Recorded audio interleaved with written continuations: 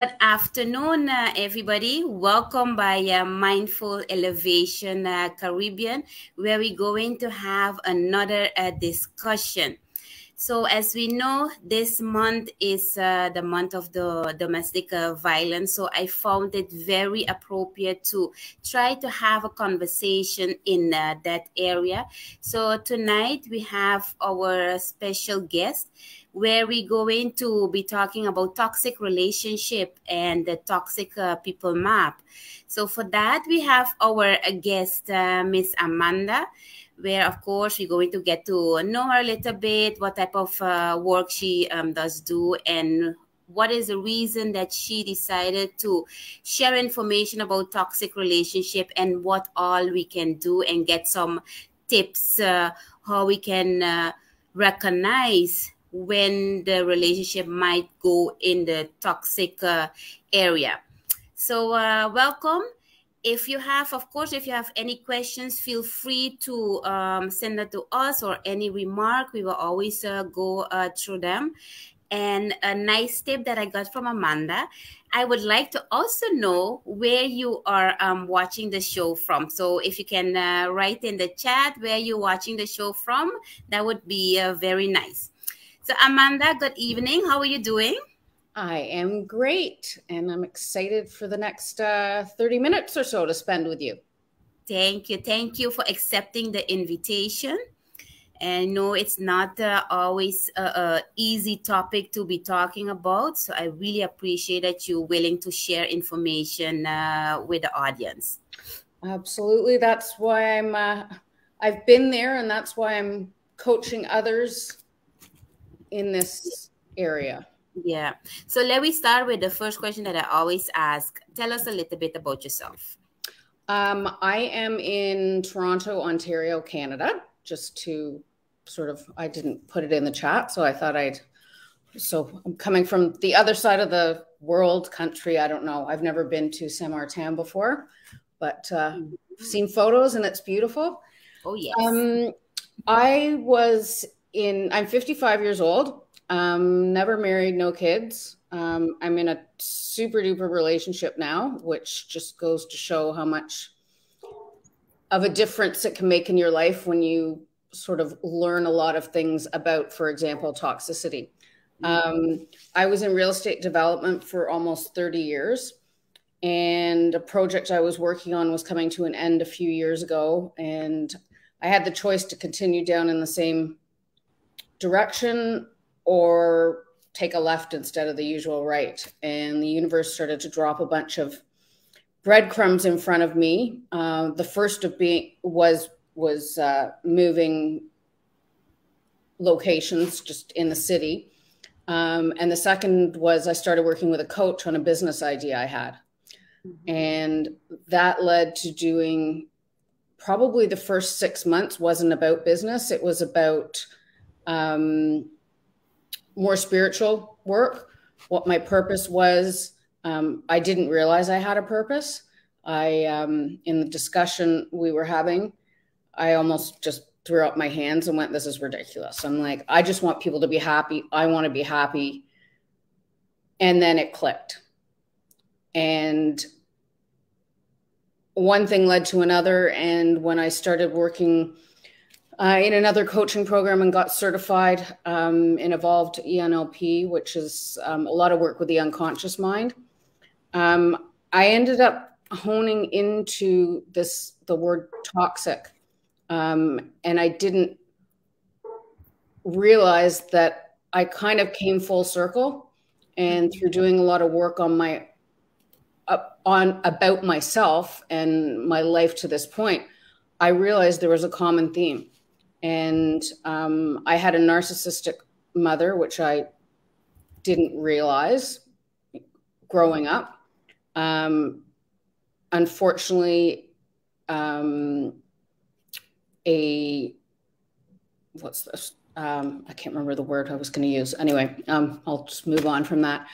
Um, there was a lot of toxicity in the family, but it was very covert. So there was a lot going on in the background that I did not understand until I estranged myself and started doing more work on myself and just moving away from the relationship. Um, I then discovered that each consecutive job I had, there was toxicity in the workplace, um, mostly with the the males, um, sometimes with the females, and then in some instances with some friendships I've had. So, but I didn't put all of that together till after. And then um, I realized if I had some of the tools I have now and that I share with my clients, mm-hmm. I wouldn't have necessarily made the same mistakes. Um, you can't change other people. That was one of the biggest lessons I've learned. Um, mm-hmm. And I think I fought 30 years trying to do that in the family mm-hmm. and work situation. Anyway, I'll stop there for a minute and let you jump in. Otherwise, you'll hear my whole life.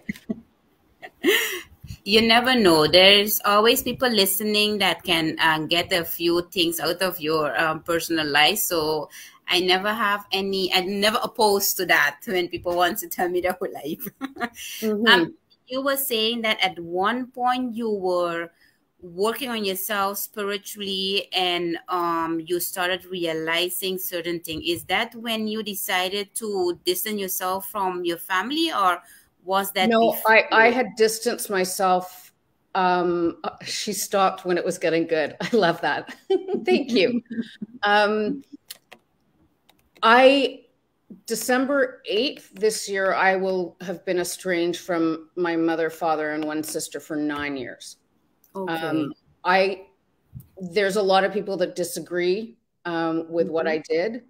Um, I've never been at the point where you know I didn't think life was worth living or anything like that, but mm-hmm. I was mm-hmm. tired of fighting, and I was try- tired of trying to prove that I wasn't who they thought I was or said I was or you know, I remember my father telling me I wasn't born with proper coping skills mm-hmm. um, and that I made everything about me. And I wasn't. I just wanted someone to listen to me. Mm-hmm. Um, so I was the black sheep. I was the scapegoat. Um, I know some of those aren't politically correct terms these days, but I'm saying them anyway.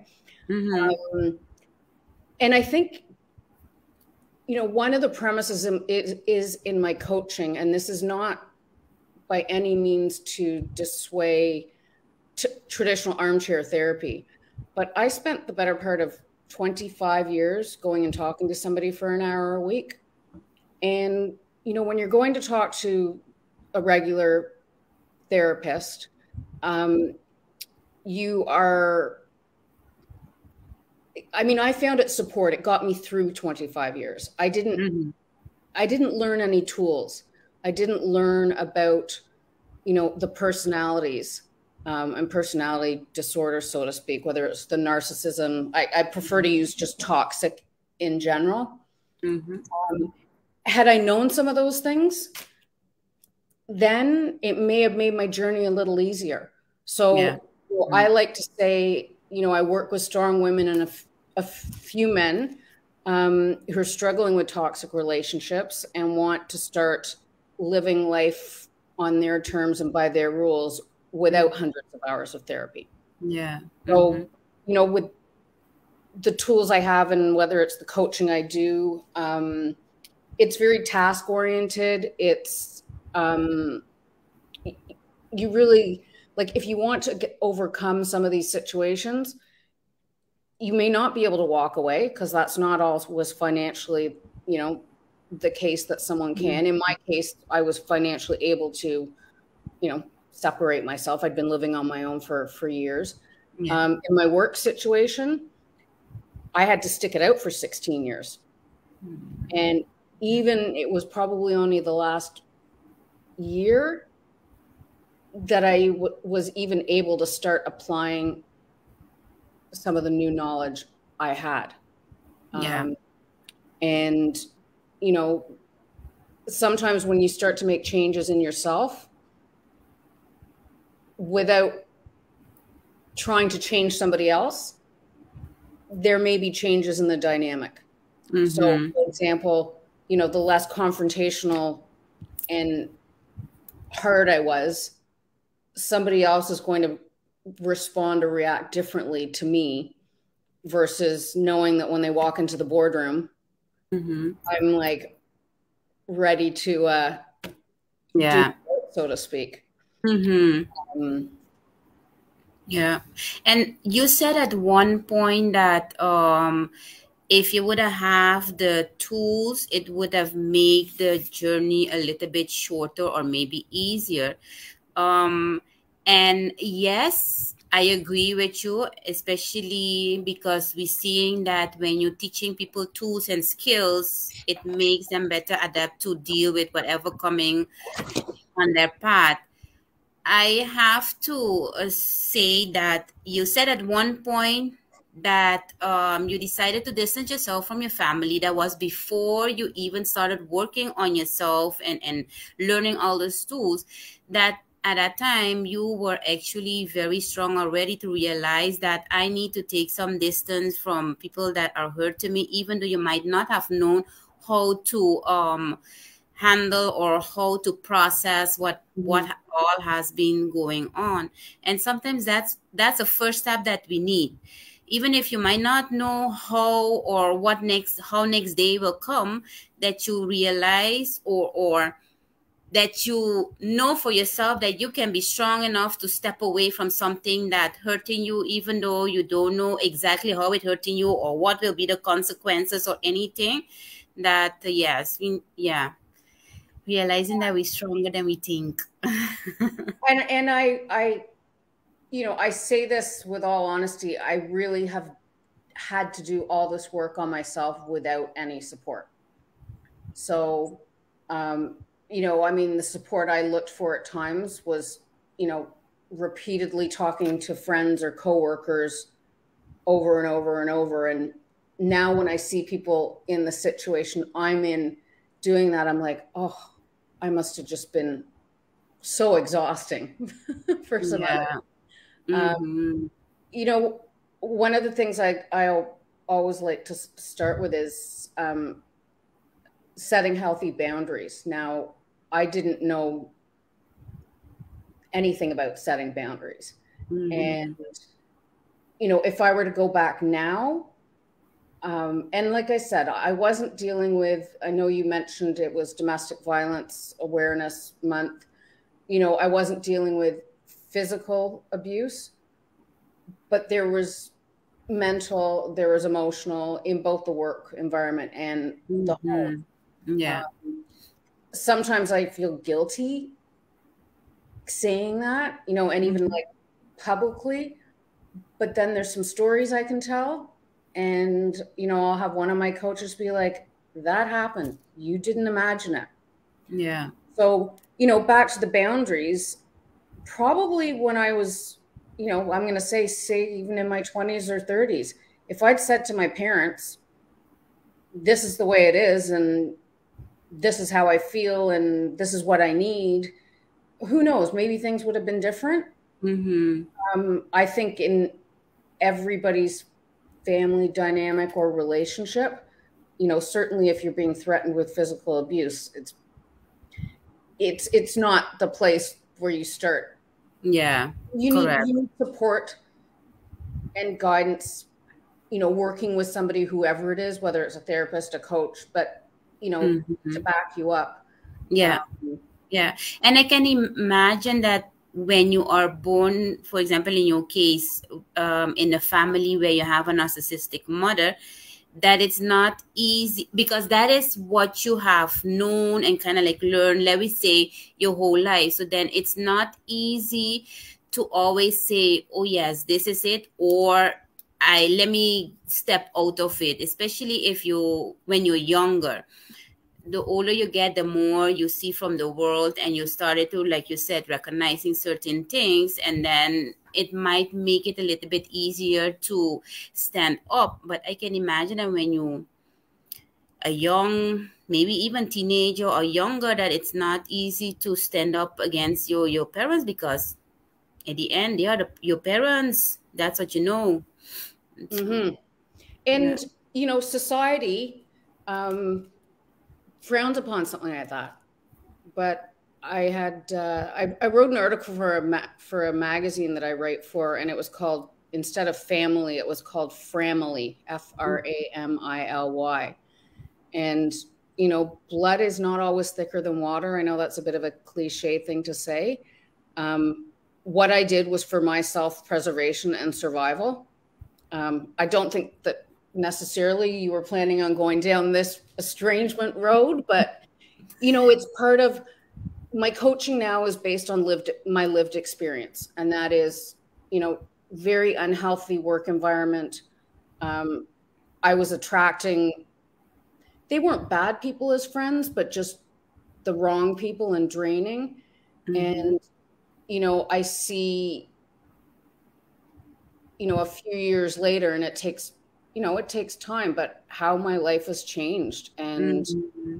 you know, the universe brought me to coaching for a reason. And, you know, there's a reason I had to go through some of those experiences. And I've never been a particularly spiritual person. So I'm still very the universe. Yeah. Mm-hmm. somebody specific. Um, and I can't help but think there's a reason I I didn't make a decision one day just to do this. Yeah. So, mm-hmm. you know, I'd like to, I'm very, um, I'm very casual. Mm-hmm. Um, I'm very open. I certainly, you know, don't want to make any of this about me. It's more if I can help people not have to struggle um, and go through some of the things I went through, and, you know, even if that's understanding their boss's behavior. And, you know, I know in my situation and the way I handled things was sort of direct confrontation. You know, when I yeah. knew somebody was lying or, you know, giving me the silent treatment, and I was really fueling that person's illness, for lack of a better mm-hmm. um, and I didn't know at the time that by not engaging and taking steps back and um, not challenging things, that although it can sometimes still have a difficult, like it's not it's not easy being on the receiving end when you change your behavior with those sorts of people because they know it and they don't like it. So mm-hmm. there's a period of yeah. adjustment um, where there, you know, there could be threats, there could be again the silent treatment um, mm-hmm. And I think those are, I know I'm jumping all over the place, but those are things I didn't, I knew nothing about. Yeah. So I was, you know, I was getting up, I, I talk about it on my website um, and in my bio and stuff. I was getting up every morning ready to do battle with, with these toxic people. Mm-hmm. Um, they, you know, I know there's theories that I you know attracted them mm-hmm. um, i don't necessarily agree with that you know in a family situation you're not attracting a sibling that's yeah. that way um, when you go into work environment you know the other people the clients and consultants coming in you're not by choice attracting them mm-hmm. however you know if one of them is I'm going to use the word activating instead of triggering because triggering gets used a lot. Um, and then you respond to that person, or sorry, you react to them. Mm-hmm. That sort of brings out the toxicity that may not have been there had you not, you know, called them out. Um, yeah, I have a. I think you you mentioned I could say I I do have a an ebook, um, mm-hmm. Four Secrets um, strong gritty women need to know to rise above toxic relationships without hundreds of hours of therapy. And in it, I share um, things like setting boundaries, saying no, using the word I. And I also go through four scenarios where it's a before and then an after when you're using some of these tools. Mm-hmm. Um, and when I was writing it, I didn't intend it to be almost verbatim stories where you know the names have been changed to protect the innocent, so to speak. Uh-huh. But um, I think one of my favorite ones is about a boardroom meeting. And I start saying something about, you know, I walk into the boardroom and I take my normal seat. I've sort of got the agenda, I'm ready to go. And Bob, sorry, everyone has checked their egos at the door except for this one person. And this person and I are always like this. Mm-hmm. So I call him out because he's behaving inappropriately and it's not his meeting and he's grandstanding. Nobody backs me up. You know, I'm told really after, like, why didn't you just let him? You know, the way he is, just let him be. But mm-hmm. I couldn't let go of that. And then the after, um, I walk into the boardroom. I don't take my normal seat. I do away with the agenda and I turn to this person that I've always struggled with. And I'm like, Bob, floor is yours. How would you like to start today? Uh, is there anything you'd like to, you know, start the meeting off with? Mm-hmm. Absolute silence. And you could hear a pin drop in the boardroom. There are wood floors in there, by the way.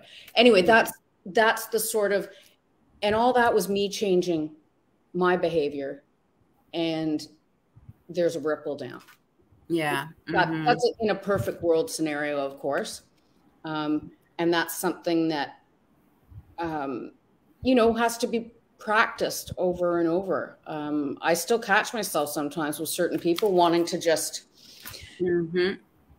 because um, i have always believed that there's a certain way things should be done and people should behave and i've been criticized for that also mm-hmm. um, but there's certain values that i will not let go of and i mean even if it's simple things like pleases and thank yous and treating each other with you know respect mm-hmm. uh, we all deserve to be loved we all deserve to be heard um, i know that's one thing that i now realize i wasn't getting so mm-hmm. I think I was, you know, yelling louder. Um, and yeah, there I went on another. so much for your questions. I know. Okay, so we have a comment here. Admire the manner in which your guest was able to draw upon her inner resources to safeguard her mental health and well being. That takes a lot of strength and courage. Yeah, indeed. Would you, you yes would you say that um and i think you mentioned it by you saying that you're attracted that due to the fact that you were living with a narcissistic mother that um it took you longer to recognize toxic people in your work environment and that you kept it up longer than maybe if you would have be living with a non-toxic or narcissistic mother then? Yeah my i think my i was as a result of constantly trying to prove myself and i was the different one in the family. You know i like to wear the funky skirts or you know not nothing revealing or anything but i didn't realize that if i took attention away from her it i was criticized in some way um, yeah. you know, bicycle shorts, which used to be all the rage back in the 80s. And I wore those with something funky on. And how on earth can you go out wearing those and blah, blah, blah, blah. And I would just go ahead and do it anyway. Yeah. Um, mm-hmm. And yeah, I, and like I said, I didn't, I didn't know there was anything going on, you know, until I got much older. And the more we became you know, all three of us, I have two other sisters, independent, the more, and I mean, that, you know, that's, and I'm, I'm, that goes down another whole rabbit hole about, you know, common traits, whether mm-hmm. it's mother, father, sister, boss. Um, you know, I was, I can't use the word damaged because I wasn't damaged and I wasn't broken, but I was hurt. Um, and I didn't realize um, you know, like I, I mentioned earlier that we do, I do a lot of work with the unconscious mind. And without getting into a lot of detail on that, your unconscious is your 90% from your neck down. And mm-hmm. your conscious is 10%. And we walk around every day sort of ruled by that 10%. Your 90% ha- has a memory of every situation you've ever been, every word that's ever been said to you, anything that's ever been done to you, what you've said, what you've done. And it forms the vision on how you see the rest of the world. So when I look back now, what happened as a result, you know, while I was growing up and, you know, I was unhappy at the school I was at and I came home every night and cried for three hours because I was unhappy. But the solution was find out why she's unhappy. I'm like, I'm telling you why I'm unhappy. But event after event after event, you know, made the me see things differently than other people. I mean, we all have different filters. We're all going to see the exact same situation differently mm-hmm. because we've had different experiences. Yeah. Um, and I now have to, or have had to, unlearn a lot of those, you know, you're not smart enough. We had to protect you. You weren't born with proper coping skills um, you won't make it without us. And I was fighting all that stuff. So yeah. I'm learning all that. So, like I said, as much as you ask certain things about the toxic relationships, it's really sometimes you can move and change the situation, and sometimes it's about changing yourself and making adjustments to your own behavior. Mm-hmm. Yeah. Um, and what was the mentally and emotionally the consequences of all of that? Um, an eating disorder when I was 21 or 20, it started, and that lasted for 10 years. Okay. So that was uh, a big chunk. I would say that was, although I never knew why it started, mm-hmm. that was, I guess, the only way I had control over anything because nobody would listen. Yeah. Mm-hmm. Um, and, you know, I don't remember being depressed, but I think, you know, you just keep up appearances. And I think emotionally um, and mentally, it just, it, I was unapproachable. I was intimidating. I mm-hmm. was gritty in a bad way. Um, and I don't necessarily think I was that, but that's how other people saw me. Now I get people telling me I'm cute and I'm actually the approachable one in the room. I was at a function the other night and this woman came up to me. Her and I are like night and day. And she's like, Well, you know, we shouldn't do it. But when we walk into a room, we kind of, you know, scan and make a judgment here and there. And, and she said, um, because one of the things I pride myself on is being authentic it comes with consequences, but I'd still rather be yeah authentic mm-hmm. what you see is and you can tell I there's no filter on me, obviously. um, and yeah, so you know that's where I am today. Um, and it did mean, I mean, some people left me um, mm-hmm. in the sense of you know I had a best friend for 30 some odd years and it was pretty dysfunctional at times and i think very one-sided um, and i stood up for myself one day for the first time and that was the end of it yeah and mm-hmm. you know it took a little it took adjusting and it took there was ego and pride there because although i wasn't in the wrong in the situation that happened Mm-hmm. Um,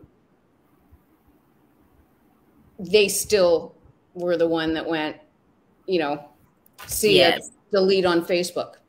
Yeah. Um, mm-hmm. Um, but at, in the end of the day, I know it was the right thing because my energy was being drained. Yeah, correct. And even though it might take indeed a little while for to adjust and and everything because um if she was a friend of 30 something year she might have been a constant in your life and then to adjust of not having her and on top too. Kind of like thinking that okay i stood up for myself and then now i'm getting the bye-bye and not talking to you while i might have been correct for doing that. Yeah. It's it's uh, you have to learn how to grapple with that as well. Yeah it's I mean, I had a lot of criticism for wanting to create my own, you know, perfect little world with no ripples. And um, like I said, I think it is so important to be happy and to be supported and to be heard, mm-hmm. you know, by your friends, by your family. Um, employers should be that way with their employees. Mm-hmm. Um, supportive, listening to them, patting them on the back. Just because they get paid to do a job doesn't mean they don't need yeah. encouragement and and thank you. Mm-hmm. Yeah, um, and genuine ones, not um, that you give it just because you know that that is the next step that you have to do. A hundred percent.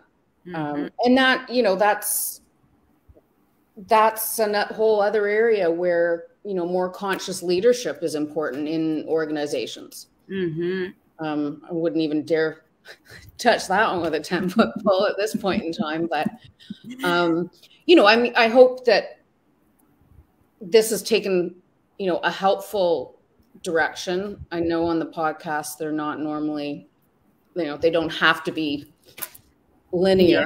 Yeah. Mm-hmm. Um, yeah. And, um, another question that I had, um, um, out of based on what you tell um, telling us, I can assume how you reach from you working as a coach to help other people that are toxic. But can you still kind of like explain how you reach to okay, let me go and help other people that might have been in the same situation as me? Because you could have choose to go do something different. I like to say I lost almost 30 years of my the, what could have been the best years of my life mm-hmm. um, struggling in very dysfunctional situations and fighting and it wasn't until i was able to be on the other side and look back i was like like i don't want anybody to lose that chunk of time going through all the dysfunction. Like yeah. that's not why we're here. And I mean, mm-hmm. fair is a wrong word because I know life isn't fair. But if there's a way I can help, you know, 10 people, 100 people in the next 20 years, avoid losing that chunk, avoid, you know, I walked around every day wondering what people thought of me, um, yeah. worrying about people liking me. Because mm-hmm. although I was challenging things and fighting. I mean, I I did very well in business. I mean, I am. You brought it up. I I will give myself that. I am strong. Mm-hmm. You know. I've yeah. I've there's people that have gone through worse, but we're not supposed to compare ourselves to others. Mm-hmm. But um, you know, I didn't marry. I didn't have kids. I didn't have the white picket fence. I don't have grandchildren. Um, I didn't travel because I was, you know, whether I like to admit it or not, you know, mentally struggling with some of this stuff. And I, I didn't realize.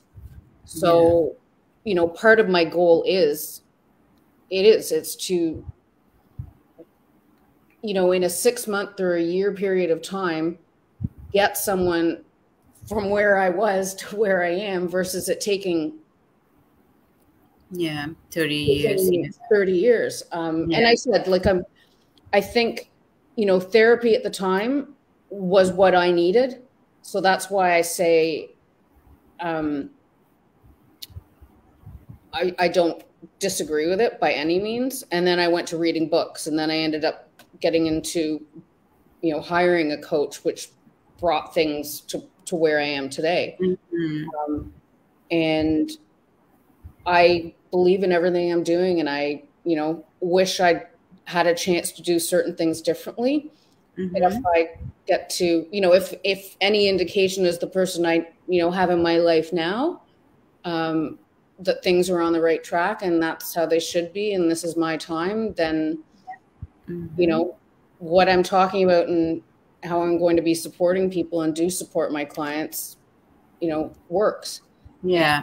Mm-hmm. Like I said, the coaching is very, it's goal oriented, it's task related, it's, you know, committing 200% to doing things that make you very uncomfortable. I've had to do it myself and don't like it. I mean, I still, we still do, you know, coaching exchanges with others and training. So we're always works in, in progress and, mm-hmm. correct. you know, yeah. I can be in live training and just have aha moments all of a sudden about something that happened in life and why. Mm-hmm. Yeah. And yeah. to be able to pass those on to someone without them having to go through all of it is yeah. Mm-hmm. part, of my, part of my purpose. Yeah. So you do see, you do notice a difference with your client that um, it is worth it to learn the different tools and skills to um, help them to realize that aha moment or to realize in what type of relationship they Absolutely. are. Absolutely. Yeah. And I mean, like I said, there's some basic work where it's just using a different language and behavior and learning to you know respond not react to things but when you start you know when someone has a problem that they're struggling with repeatedly we and i shouldn't use coach speech but we like to call it the presenting problem well that's mm-hmm. not really what the problem is once you start peeling back all the layers of the onion you get to what the problem really yeah. is and it mm-hmm. may be um, I'm not good enough or no one listens to me. Yeah. Mm-hmm. It appears as toxic, but it's actually something else. Mm-hmm. Yeah. So that's how yeah. it manifests itself. Correct. So part of it is getting to the the root to, and mm-hmm. and then you figure out why that belief is there. Mm-hmm. Um, yeah. And you know, limiting beliefs, limiting decisions. We talked about you know, or I mentioned I'm not good enough, I'm not smart enough. Uh, yeah. Nobody likes me. That's one I, you know, once in a while mm-hmm. still have to get rid of again. Yeah. Mm-hmm. Um, and for yourself, is that a, a, continuous work that you, um, once in a while, maybe you see yourself that you want to go think back in that manner that you have to remind yourself, no, I'm good enough, I'm strong enough? Uh, I, I think human nature, we sometimes, you know, like I said, something will trigger you or activate you, or, you know, I've got a, a neighbor that is a miserable person. Mm-hmm. And it just sometimes, like, I've gotten to the point where it's like, okay, you know what? It's bugging you. It's because you're worried about what he thinks or that he doesn't like you. And I'm like, what, Amanda, why does that matter? It mm-hmm. doesn't matter he's got his own story. You're never going to know it. Just let go. So I'm now able to, I have the awareness so that I can, I don't want to say stop myself in my tracks, but when my mind starts going down that road, I can bring myself back around again really quickly. So I don't go, you know, spinning out. Um, mm-hmm. Um, so I think that's, that's another very interesting part of, you know, the, the coaching world, so to speak, is mm-hmm. that awareness.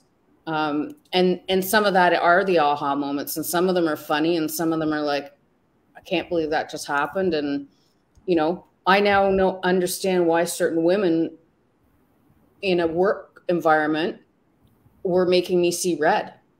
Mm. Um, and it's because they were representative of something from my childhood, but I didn't realize all of that. Yeah. So if I were to run into those women knowing what I know now, there's, I will admit, there's still a part of me that sees red, but then I can switch faster. Yeah. Yeah. Mm-hmm. And that's, and that just, that's an evolution. Like yeah. I said, we're all works in progress. Um, mm-hmm. Not everybody out there has any interest in looking at themselves or their behavior or doing any work. They just, mm-hmm. this is the way I am and I'm right. And, um, and if that's the type of person someone is, yeah, they're not getting my energy and, and, mm-hmm. and my time. Yeah. Yeah. So, mm-hmm. For the clients that come to you, how to put it, does it take a long time for them to realize that for example they have to set boundaries or they might have to do something different when it comes to their behavior. Or because they already chose to go by you they kind of like already realizing okay this is going on. So now is the tools i need to learn how to they're they're ready for a solution. They've had enough. And i mean that's that's the point i basically got to. I'm like except my next step wasn't necessarily a coach. Mine was walk out of therapy and tell him goodbye. I don't need you anymore. Mm-hmm. um, but it's uh, no, they're looking. They're ready for a solution. They don't know what the solution is. Yes. Um, mm-hmm. They still think the problem is what I talked about. The one that we think is the problem. Mm-hmm. Um, but yeah, they're ready to make. They've they've decided it's time for a change. And I don't think necessarily, I mean, someone may need to work with a therapist on one thing, but work, you know, with a coach on something else. Yeah. Um, mm-hmm. But they definitely, it's not, you have to want the change. Mm-hmm. Um, yeah. And that's the same as, you know, I'm trained in hypnosis too, but it's, um, it's the same as finally deciding you want to quit smoking or leave a relationship or find a new job or switch careers or um, you know stop a pattern of behavior that you know is unhealthy mm-hmm. um, yeah so mm-hmm. yeah they're they are ready it's not um, you know i'd like to find the people out there to help because i know there are people out there that that want it if I if I've gone and invested in myself, and and this isn't me selling, it's just the time and and energy and commitment it takes to really bare your soul and your story and and and understand it. It's mm-hmm. exhausting, but at the end yeah. of the day, it is so worth it. Mm-hmm. So yeah. so worth it. Yeah. Can I ask the question what can a person do to prevent to be in a toxic relationship? Um is that a valid I mentioned a, I mentioned a few things. I'm just going to flip to my little uh mm-hmm. um some of it is just rec- recognizing red flags and I go through some of them in in my ebook I mentioned. Mm-hmm. Um constantly fighting with a parent, feeling physically drained after being with friends, you can't be yourself around people. Um, you're defensive, on guard. So it's not necessarily um, part of it is their behavior, and part of it is how you're feeling. Um, if somebody is accusational, if obviously physical, mental abuse, um, silent treatment, you know, unpredictability in terms of their behaviors and, and moods, um, lies, mm-hmm. threats, um, passive aggressiveness, mm-hmm. um, silent treatment. Um, I know one thing I probably should have paid more attention to, and I I waited for breadcrumbs was not wanting to be the one to reach out, whether it was with girlfriends, guy friends. So I kind of let them master the schedule. So I was always sort of sitting by the wayside. Mm, um, yeah. So, you know, in a relationship, if things aren't equal, um, and that be friend or romantic, um, family is a much difficult, more difficult one because no, you cannot just up and leave. Mm-hmm. You know, I mm-hmm. was 46 when I did. Yeah. And I wasn't up and leaving. I'd been living my own life for, for years. Um, mm-hmm. And in the work situation, um, you know, there's, I remember one of my first jobs, and I had a very verbally and mentally abusive boss. But I was also told that if I made any waves, that would follow me for the rest of my life. Mm, okay. Yeah. Um, so it's, you know, how do you navigate around those things? Mm-hmm. Um, I think in my instance, and I would like to think that's one thing that you know, helps other people is when somebody does listen and says, You're not wrong. There is an issue here.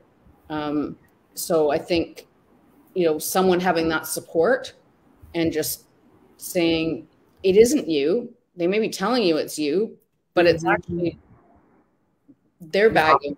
Yeah. Mm-hmm. You yeah. know what that they're carrying around. Correct. And it's being projected onto you. Mm-hmm. Yeah. So it's yeah. uh it's complicated. Yes, it is. It is.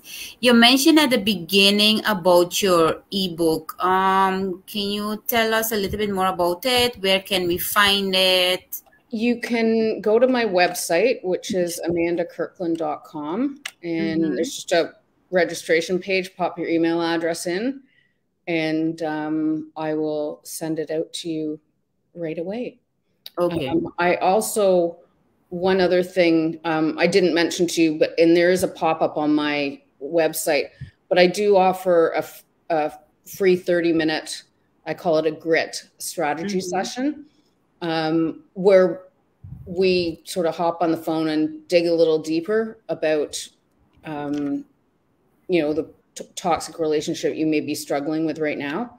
Mm-hmm. And offer some tips that might help you because it's not a one solution fix all. Yeah. Um, mm-hmm. There may be some things that work for some and not for others. Yes, exactly. And so I have that on there. Um, and if someone chooses that they want to do something further, that's great. There's a few options. And if it's mm-hmm. just, you know, a 30 minute call to connect and I can share a bit and help somebody, then, you know, I'm, I'm very happy to do that. Mm-hmm. Um, I do all my stuff on. I, I, mean, I can do in person in home, but obviously um, Zoom. Mm-hmm. I can okay. up. So I'm happy happy to do that and offer both.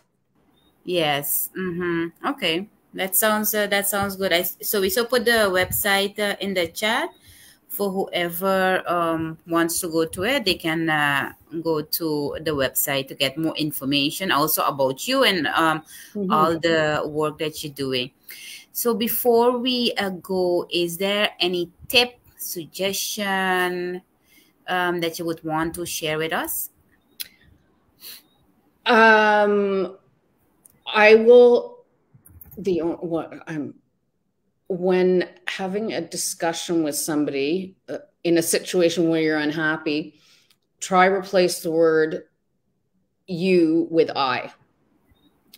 Um, because when you say to somebody, you make me feel, or you did this, or you did that, you're going to have them on the defensive right away. Mm-hmm. Um, I feel like I'm not being listened to.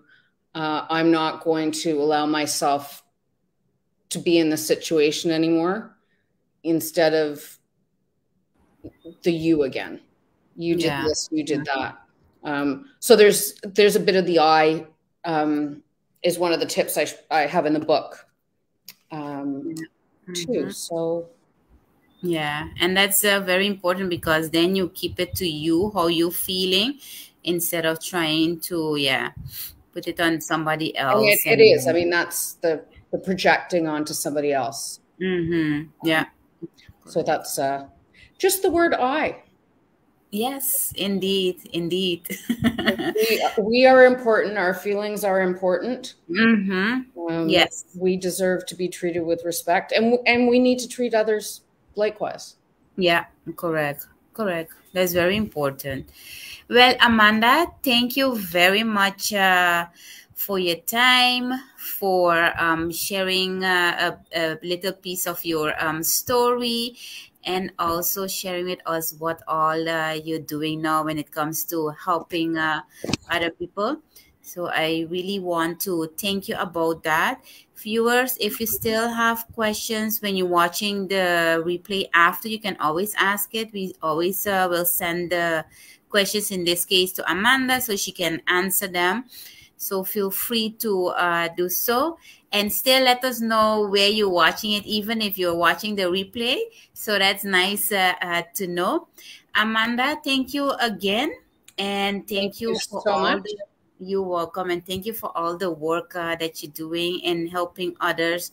For them, not like you said, not to have through to go through that whole um, leap of years, but trying to yeah come quicker to what they need to, to their what they deserve. Yes, yes absolutely. Correct.